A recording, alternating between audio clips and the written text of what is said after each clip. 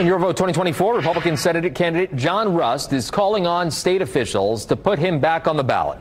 Rust delivered letters to the Attorney General and the Secretary of State this morning. The Indiana Election Commission removed him last week because he did not vote in the two most recent Republican primaries. The decision would leave Jim Banks unopposed if it stands.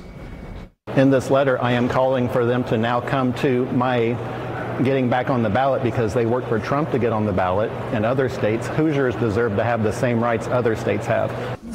Rust has a new lawsuit in Marion County Court claiming that he should be reinstated because a judge had blocked the two primary law while he got on the ballot. He says he still plans to appeal to the United States Supreme Court as well.